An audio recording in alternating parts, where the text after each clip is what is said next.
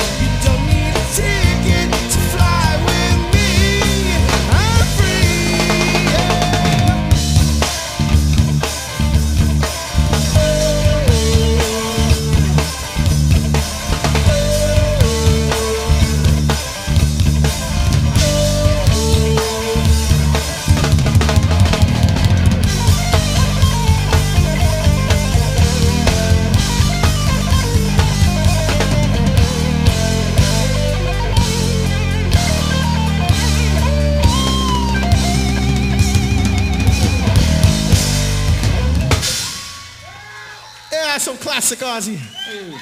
That's Dan and Dave going with certain guitars.